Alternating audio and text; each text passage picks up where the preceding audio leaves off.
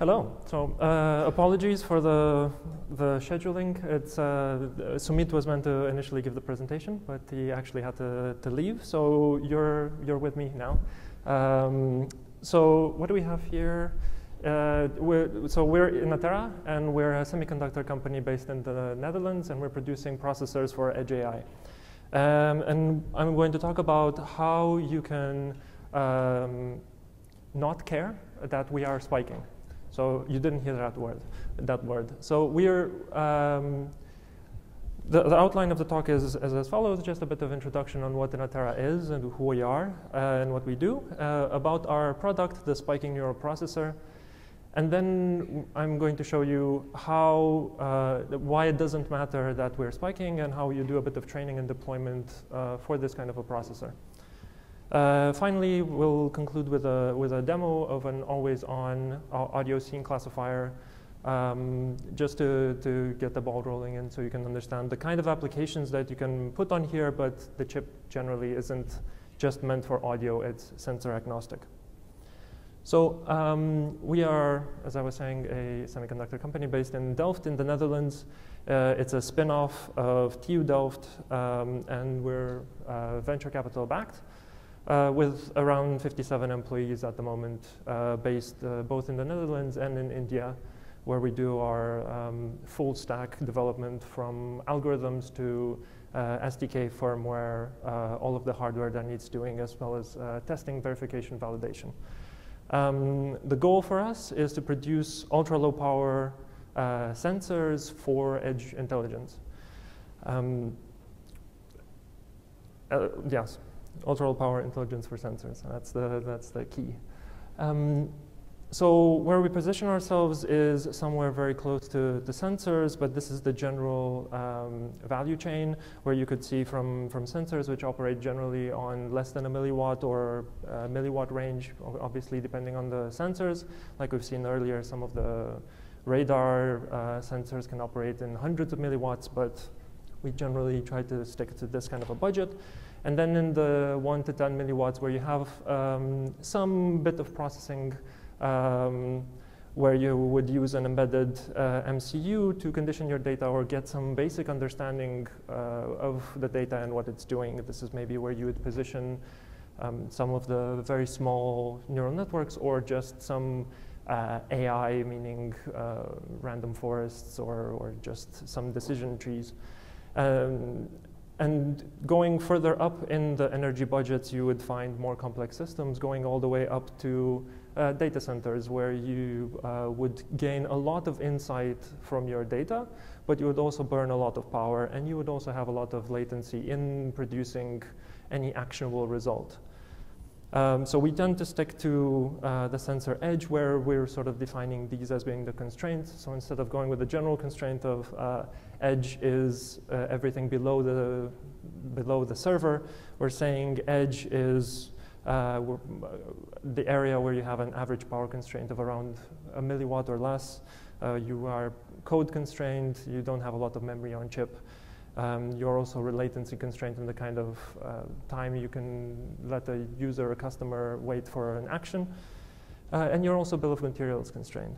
And that's where, you, that's where we believe we add value uh, at this kind of range.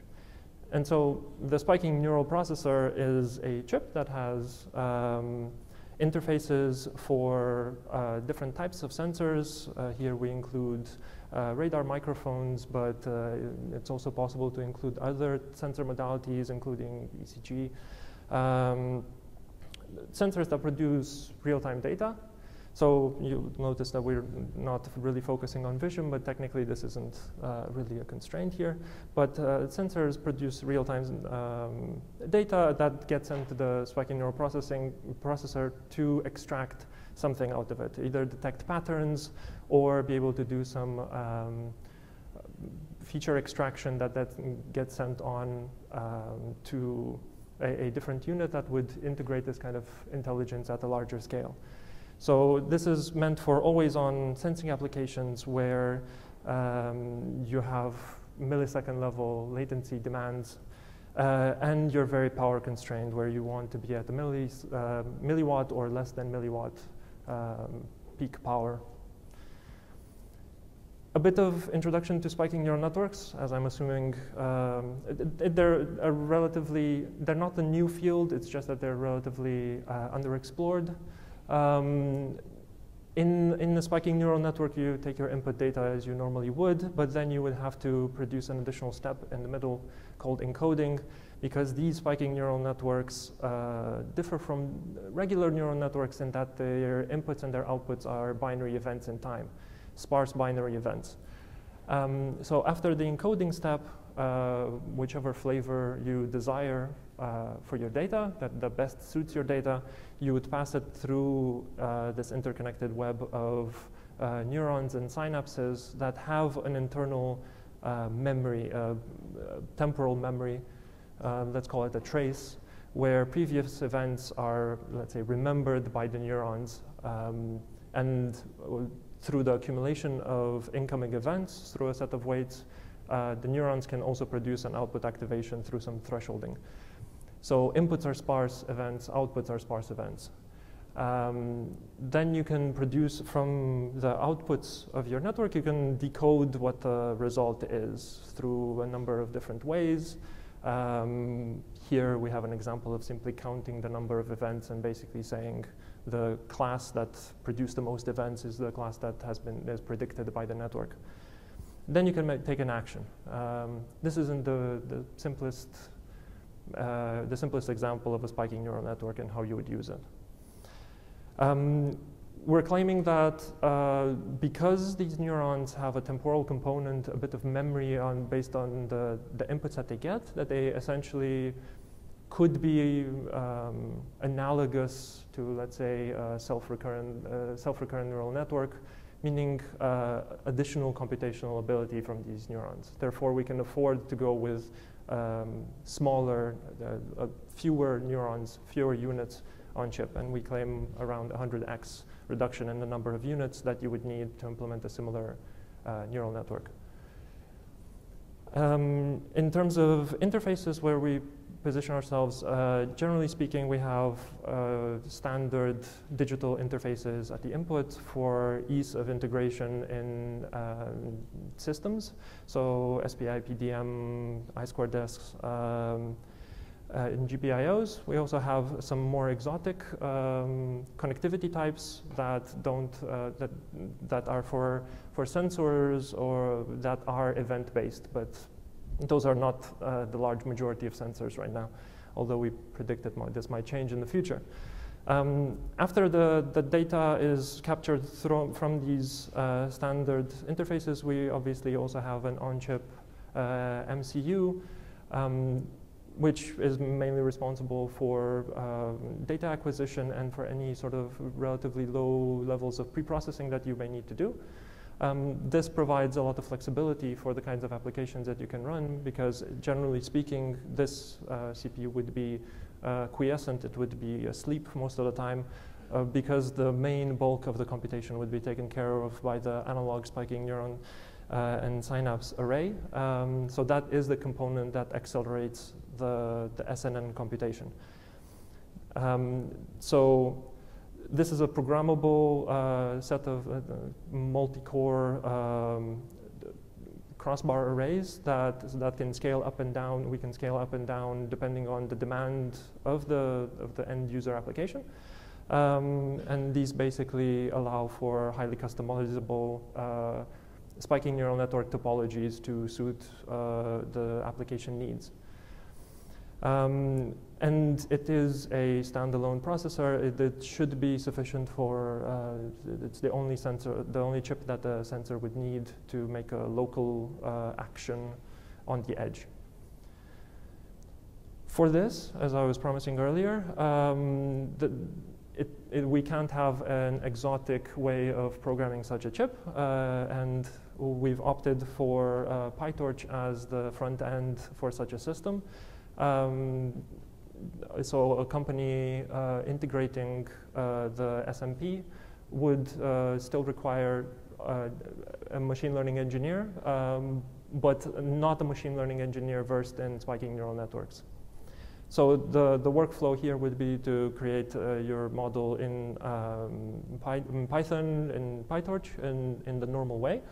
Uh, and provided uh, training data, and uh, then our SDK handles the, the rest of the computation, the, compila the compilation of the model after it's trained so that it can be deployed to hardware, while also providing feedback on the quality of training and allowing for um, any optimizations and bu building in optimizations so that the, the deployment to the chip is optimal.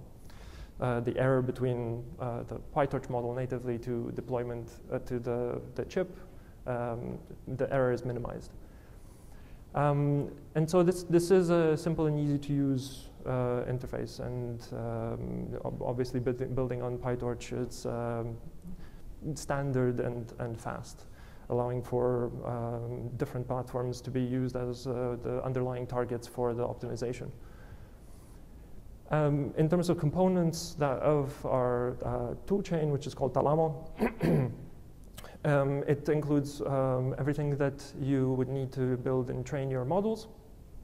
Um, it's essentially identical to the PyTorch API, uh, so again, easy to use and uh, adopt, uh, but, and critically requires no knowledge of spiking neural networks. Um, uh, everything is covered here from data loading to the most exotic bits would essentially be the spiking conversions, but we provide reference implementations of these encoders and decoders. Uh, with, of course, the ability, because it's uh, PyTorch and Python, the ability to extend uh, these components so that um, a new application could have a um, dedicated encoder or decoder that best, best suits that particular application. Uh, functionally speaking, uh, the training, uh, quantization aware training um, is enabled here as well. Um, and the addition of um, surrogate gradients for spikes means uh, it's easy. It's generally easy to to train such a network. Um, I also have a demo uh, video of this happening, but uh, I expect that most folk would like to also enjoy lunch.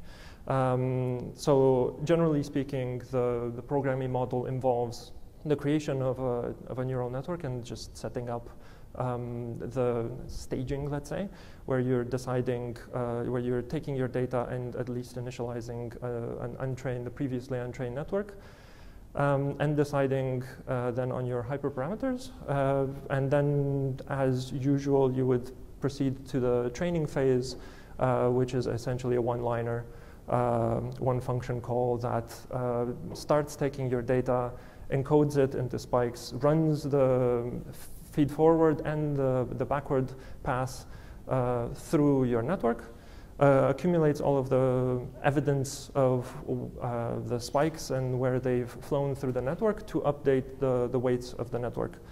Um, and this, although the example is built using MNIST, this kind of flow works for any sort of data set that um, you may have. Um, and so this is the general flow. You, you train it, you execute it in, in, in PyTorch, uh, as well as our own hardware-aware uh, simulator that, uh, because the platform is analog mixed signal, we also have a very highly accurate uh, simulation platform that captures the salient features of the analog mixed signal platform so that when you train with that information, uh, when the optimizer has access to the information of what the chip is like, um, then it, it further minimizes the error between the, the network uh, trained purely in PyTorch and uh, at, for deployment.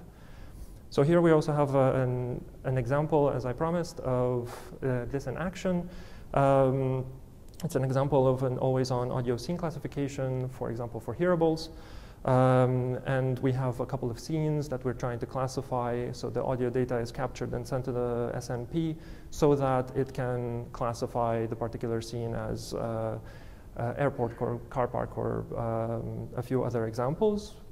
And as an example for, for you to be able to then say, uh, take an action. So the proposed action here would be changing a few filter banks to uh, the, the, equalizer, for example, to better uh, suit that kind of environment the general pipeline um, is something like this, so relatively easy and straightforward. Uh, uh, the pre-processing involves uh, some uh, co computation of mel frequency uh, coefficients, an encoding that's relatively simple, then passed to a small SNN to then produce a classification um, and it looks something like this. Uh, these are the headline numbers, I'd say, for, for this kind of an application. Uh, we also have a, a, this demo running at our booth um, if you want to try it out yourself. Uh, but in short, it consumes uh, around one milliwatt uh, of peak power uh, with an accuracy of about 85% on this subset of the DCase challenge. Um, in, in essence, uh, the, the audio stream is, is cut into um, uh, one second chunks and then fed to the, the SNN for inference. And um, it, it takes us around it takes us around one millisecond to produce an inference for each uh, sample of one second of audio, while fitting in a model size of around three kilobytes. Um, so in short, as it seems I'm on time, uh, the AI is generally uh, power latency, code size, and bill of materials constraints. And what we're showing here is um, the, the hardware, the software, being able to implement a uh, audio scene classifier in a power budget that fit, fits this demand. Um, and with an SDK that is easy to use, uh, that enables quick adoption and quick training of networks. Um, and we would say that um, likely the, the future of TinyML is neuromorphic, is what we would claim and we would hope. So in short, that's it. Thank you very much.